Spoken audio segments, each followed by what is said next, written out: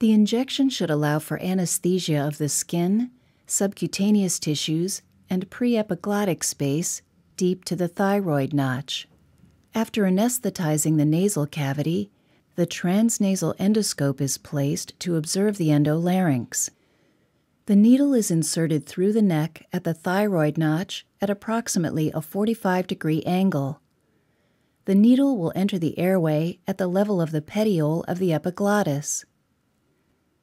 Instruct the patient to phonate and slowly drip 1 to 3 milliliters of 4% lidocaine onto the vocal folds as the patient continues to phonate. The patient may cough initially, but this will resolve as the lidocaine takes effect. Repeat this laryngeal gargle procedure a total of up to three times with a brief pause of approximately 30 seconds in between each step.